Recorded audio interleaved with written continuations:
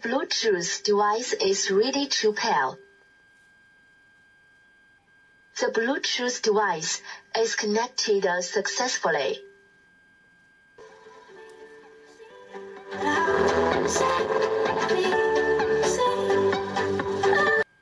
The Bluetooth device is ready to pair.